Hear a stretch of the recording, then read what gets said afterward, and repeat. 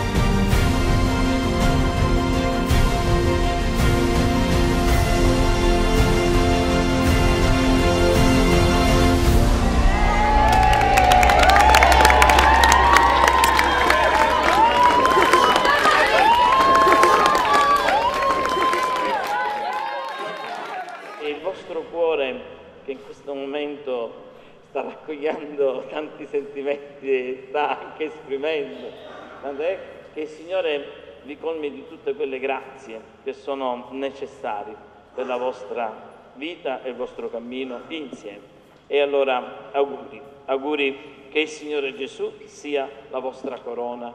Amen.